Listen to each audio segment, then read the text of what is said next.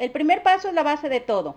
Primero se decide cuánto piloncillo o panela es el que se va a derretir y enseguida se elige el tamaño del recipiente donde se va a poner porque hay que acostarlo todo el piloncillo, ya sean pedacitos o completo. Yo lo hago en completo, recuerda que te estoy mostrando mi método.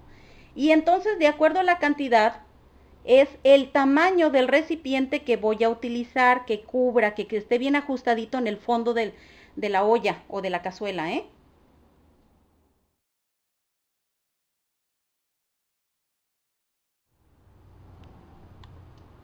Ya está listo en su olla. Y si te fijas, mira, queda bien ajustadito en las paredes de la olla, todo alrededor. Pero aquí no me dio suficiente espacio para ponerlo completo, entonces lo partí en dos. Porque si pongo un recipiente más amplio, entonces sobraría mucho espacio alrededor y no. Tiene que estar bien ajustadito el piloncillo. Ahora le pongo agua hasta que cubra el piloncillo. Quedó un poquito hacia afuera, pero así está bien. Ahora se prende fuego al máximo. Mira, ya comenzó a hervir. Y rapidísimo ya se está derritiendo todo el piloncillo.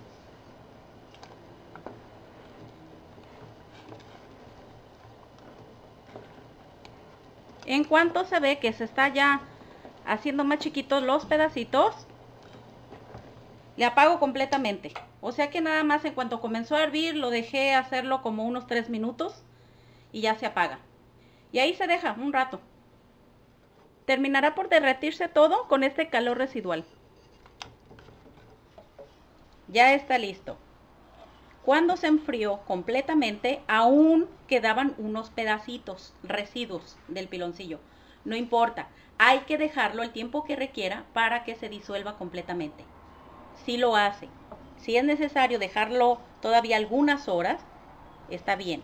Si hay que dejarlo hasta el día siguiente, está bien. En este caso yo lo hice ayer y hasta ahorita te lo estoy presentando. Mira cómo queda.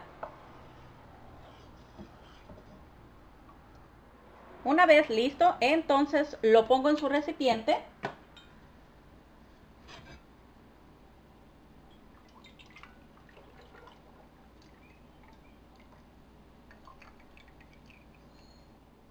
Y entonces tenemos una presentación líquida.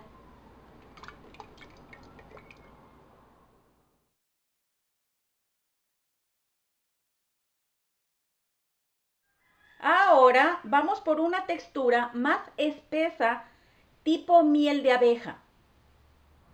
Ya están bien acomodados los piloncillos o panela en el fondo de la ollita.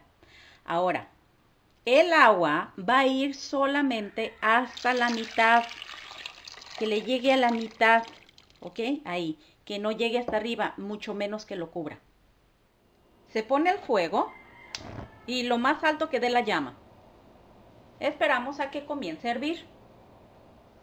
Bien, ya comenzó a hervir. Ahora nada más hay que bajarle a mediana temperatura.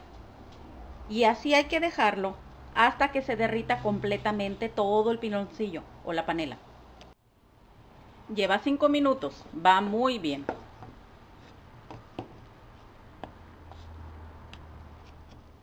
De vez en cuando hay que mezclarlo, ¿eh?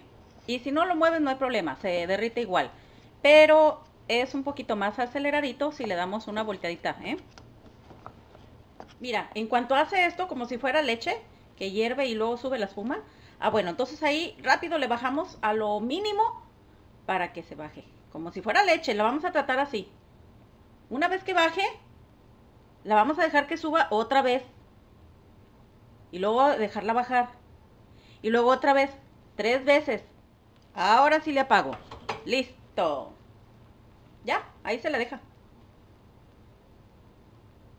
Con ese calor, si quedaron algunos pedacitos, ya con ese se derriten completamente. Ya no es necesario dejarlo más, está bien así. Y pues ya, nada más hay que dejarlo enfriar. Ahora déjate aclaro. Suba la espuma o no suba, como si estuviéramos sirviendo leche, no importa. Esto está aproximadamente en 10 minutos manteniendo esa temperatura constante de mediana. no muy fuerte, tampoco muy bajita. Mira la apariencia cuando está lista.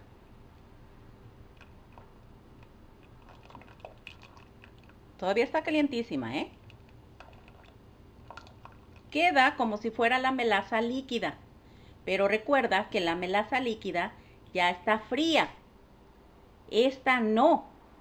Cuando enfríe, se va a ir espesando. Pues ya está lista. Ya está completamente fría. La hice ayer. Entonces le di suficiente tiempo para que espesara lo que iba a espesar y tú la apreciaras. Mira.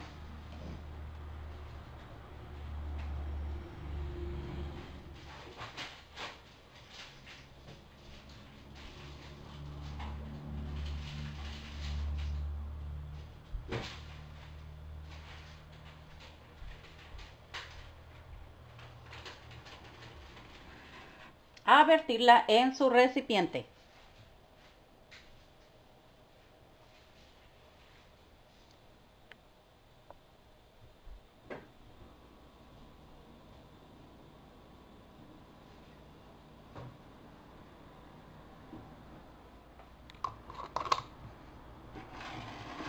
Entonces tenemos las tres presentaciones.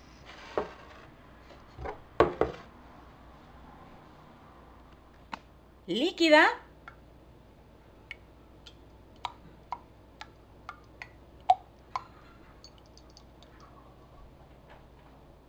Espesa.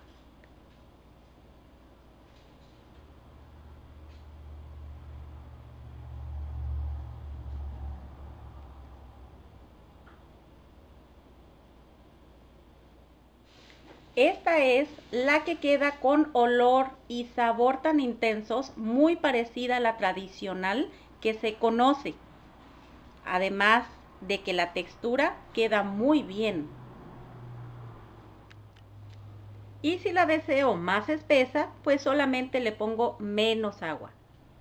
Y la otra presentación, que es una de nuestras favoritas, que consumimos aquí en la casa, de hecho hasta cuando se nos antoja algo dulce, pues agarramos una cuchara y lo único que hacemos es escarbarle. Mira, es como si fuera una miel azucarada. ¿Ve?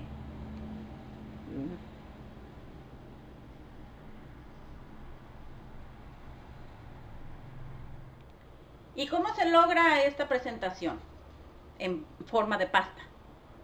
Pues haces el mismo procedimiento, que ahorita ya va a ser más fácil de que me lo entiendas porque ya viste dos presentaciones que te acabo de mostrar y ya vas a entender muy bien cómo va esto, la secuencia del proceso para lograr un resultado determinado. Le pones menos agua que la que le puse a este almíbar espeso. Un poquito menos, casi la mitad de lo que le puse. Y la vas a dejar igual a que se derrita, como yo les indico ahí en el proceso. Y una vez que se derrita, la vas a dejar hervir, seguir hirviendo por un rato. O sea que eso va a provocar que se caramelice. Tiene menos agua, más tiempo de cocción, entonces se va a solidificar más rápido. ¿Ves? Y bueno, pues ya estás listo o listo para empezar a experimentar si es que no lo has hecho anteriormente con este producto. Y sacar tus propias fórmulas a tu gusto. ¿Y como para qué usar cada una de las texturas? Bueno, eso tú lo vas a decidir. Si ya lo tienes listo con diferente presentación, en el momento que surja la necesidad, tú vas a saber qué utilizar. Haz de cuenta que tienes en tu gabinete miel de abeja azucarada, miel de abeja líquida, jarabe, almíbar, eh, sirup, que para los panqueques, tú sabes en qué lo vas a utilizar cada vez. Y si tú no tenías antes en existencia este tipo de producto en esta presentación, pues como que ya viene siendo hora, ¿no? De manejar eh, productos más saludables, adaptar nuestro paladar a este nuevo sabor y pues de un de, de un de repente damos el brinco y ya no extrañamos los los industrializados. Eso sí te lo aseguro. Porque de esa manera yo no voy de acuerdo con la supresión ni la represión. Eso de dejar de un de repente que porque se está de moda que, que hace daño esto, que hace daño el otro, no estoy de acuerdo con eso, a menos que sea por cuestiones médicas. Entonces sí. Pero ¿qué tal si vas probando otros mejores sabores, que se le llamaría un sabor supremo, entonces vas dejando los otros anteriores, automáticamente, sin esfuerzo. De a poco a poquito nos vamos adaptando a unas nuevas costumbres que conscientemente sabemos nos benefician más. ¿Qué haría yo? Aguas frescas, todo lo que sea en presentación líquida, nada más usaría menos líquido y endulzaría con la presentación líquida. Almíbares, le pondría esencias, le pondría sabores, bañaría las frutas, haría ah, pruebas, experimentos para sacar el sirup del sabor de las frutas naturalmente. Con esto que untaría panes, endulzaría el café, endulzaría todo lo... O sea, ¿sabes qué? Tu imaginación, úsala.